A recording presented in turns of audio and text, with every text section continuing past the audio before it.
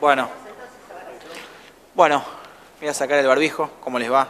Bueno, estábamos eh, un poco hablando de, todas las adquisiciones nuevas que va a tener el hogar agrícola y con Cristina me parece que estaría bueno, pensábamos que estaría bueno que nos pregunten un poco en dónde estamos parados, dónde está nuestra situación epidemiológica este, en general y, y hacia dónde vamos, ¿no? Viene una situación donde vemos que la región se ha complicado muchísimo, distritos que son mucho más chicos que nosotros están sufriendo una cantidad de contagios muy grande, creo que el AMBA eh, no hace falta que hablemos de la situación este, de la zona metropolitana, tanto Ciudad de Buenos Aires como, como el conurbano, como sobre todo los 42 distritos este, que rodean a la Ciudad de Buenos Aires están pasando la peor situación epidemiológica, mucho peor que la del año pasado.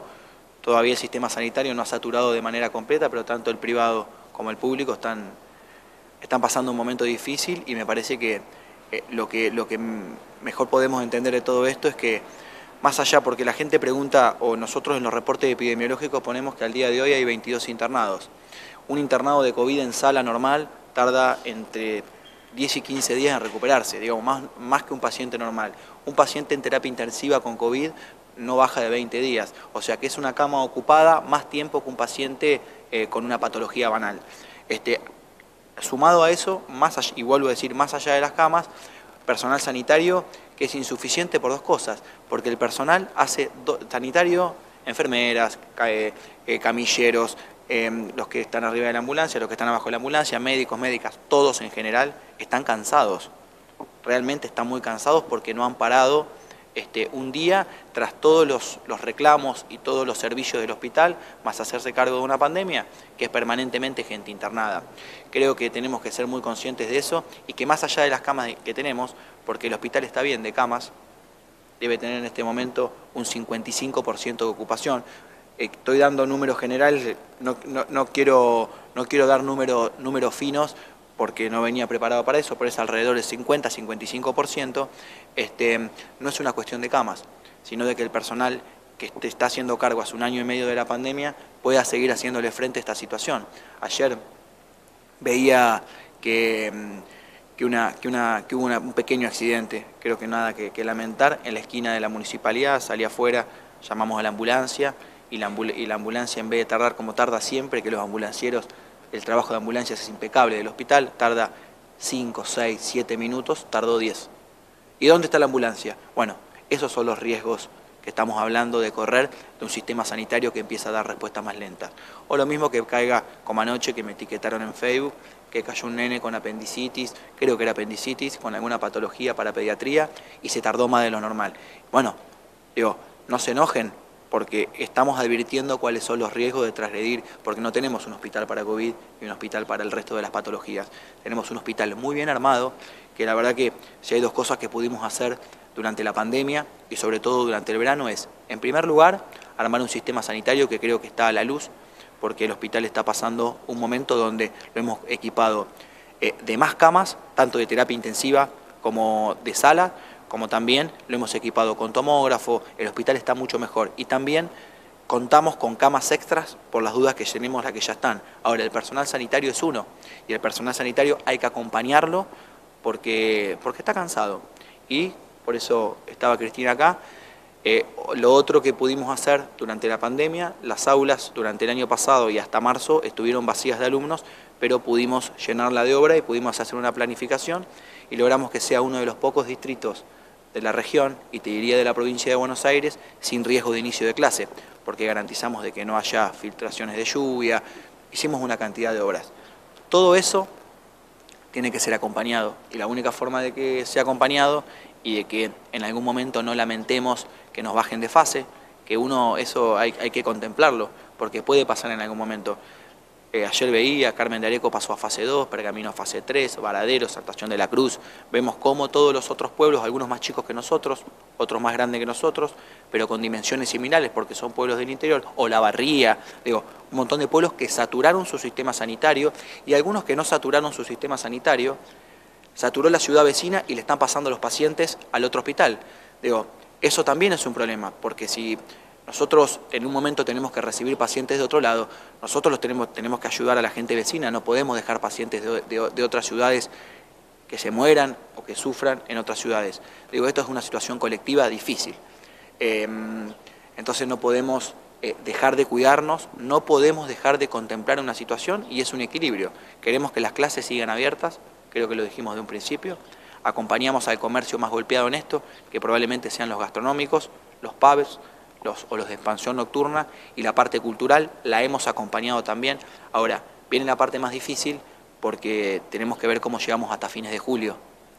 El año pasado empezamos con los brotes a fines de julio, hoy venimos de más atrás. Ahora estamos viendo cómo llegamos hacia donde el año pasado empezábamos, que es donde termina el invierno, que aún no empezó. Se supone que va a ser un invierno un poco más cálido, eso capaz que nos juega a favor, pero nuestro pico está muy lejos. ¿eh? Nosotros, nuestro pico, esto va a seguir subiendo por lo menos hasta fines de julio. Entonces, teniendo todas esas cartas sobre la mesa, teniendo una situación conocida, que el año pasado era muy desconocida, o conocida a medias, teniendo una vacunación que va muy bien, porque acaban de llegar 800 dosis de Sinopharm, hoy, hace una hora, para segundas dosis, que eso nos, nos pone en un lugar eh, muy bueno. Las comunidades chicas y sobre todo Salto se está vacunando muy bien. Hay un equipo de vacunación con, a la cabeza con dos compañeras que lo están llevando muy bien, que son Julieta y Valeria, que están haciendo un trabajo maravilloso. Yo voy al centro de vacunación, me consta el trabajo que hacen los enfermeros, me consta las chicas de limpieza, las chicas que hacen el triage. Se está haciendo un trabajo muy bueno ahí y se está vacunando bien. Las comunidades chicas vamos a vacunar mucho mejor que las comunidades grandes porque tenemos más capacidad para hacerlo.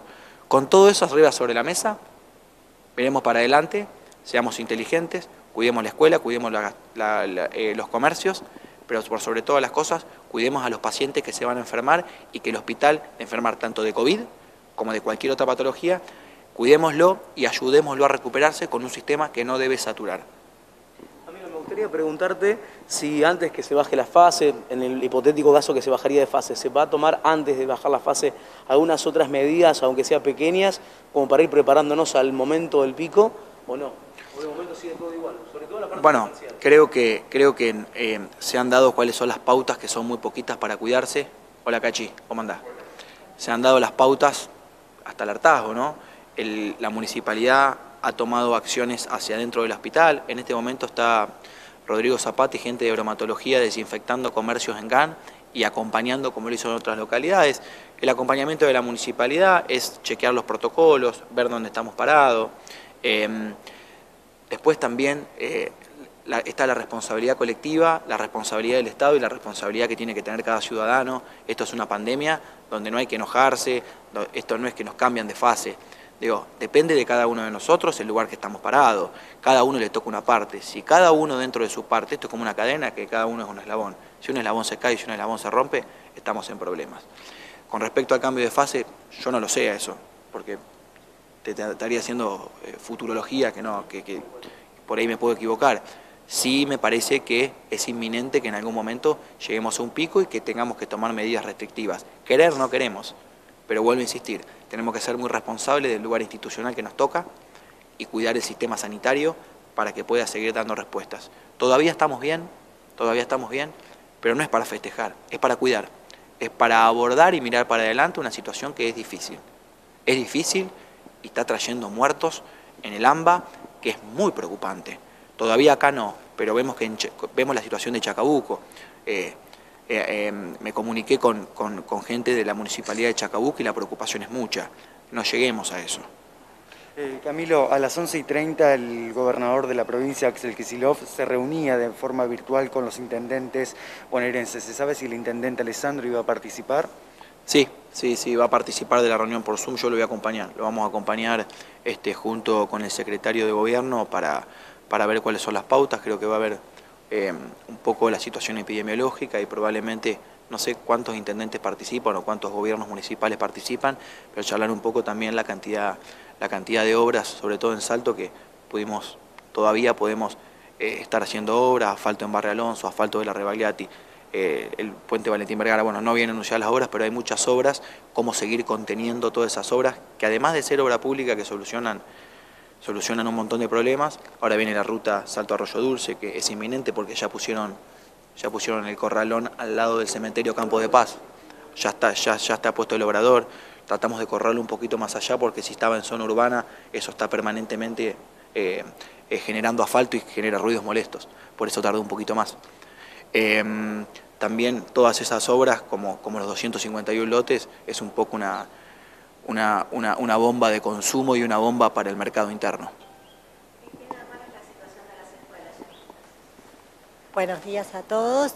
Eh, contarles que la situación de las escuelas, nosotros tenemos en números gruesos 10.600 entre alumnos, docentes y auxiliares eh, que se mueven dentro del sistema educativo. Hoy eh, no vamos a hilar fino en los números porque van cambiando día a día, pero sí eh, estamos tranquilos que los números de contagios y de COVID activos son ínfimos a la cantidad de alumnos que tenemos, docentes y auxiliares dentro del sistema. Las escuelas están trabajando dentro de lo que son las burbujas de aislamiento por preventivas.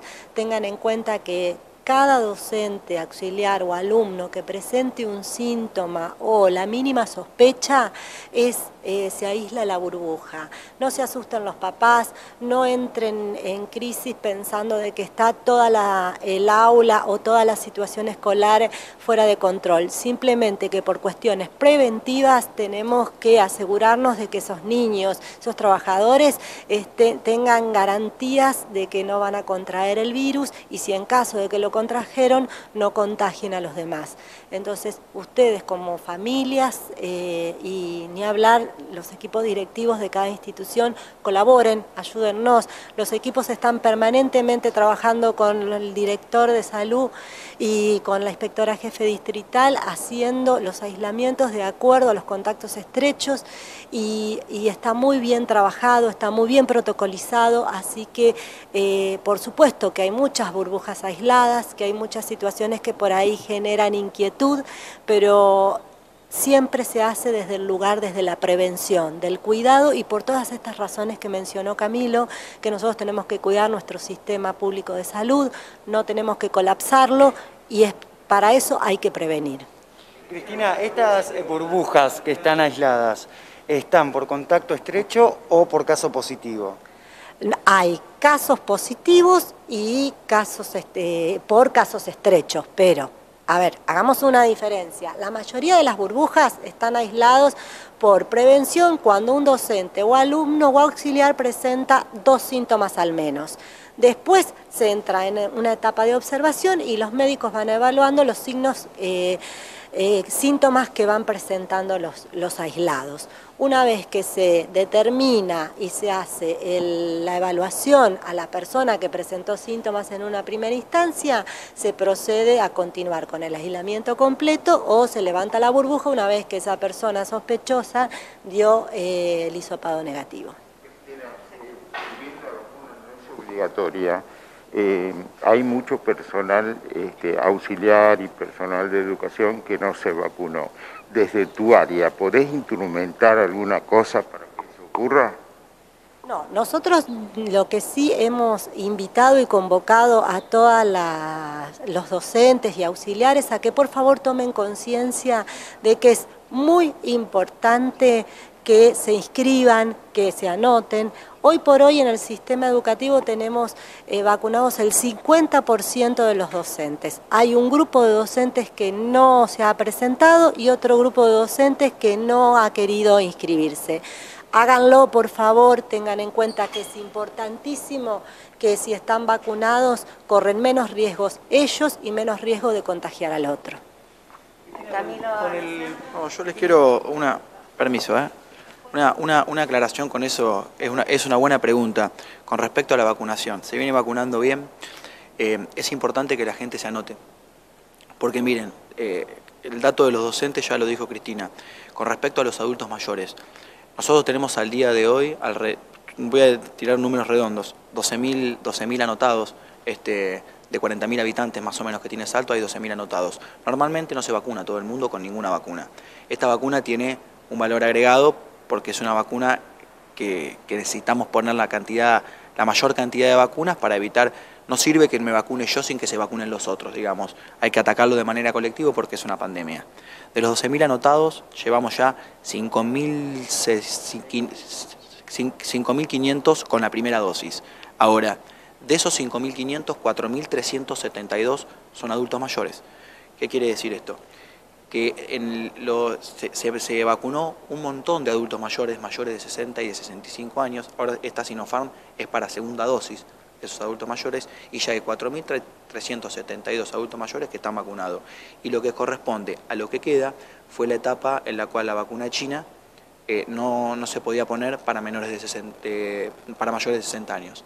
Entonces se pudo vacunar a personal sanitario, a personal docente y demás. Ahora, vamos a respetar el calendario que da el Ministerio de Salud y están siendo muy estrictos porque también pedimos que se vacune a nuestro personal policial y no lo pudimos hacer porque tenemos miedo de quedarnos sin policía, por ejemplo, en un momento. Eh, hay un montón, de, hay un montón de, lugares donde vacunar, pero el calendario, de, el calendario sanitario que da el, Ministerio de Salud es bastante estricto.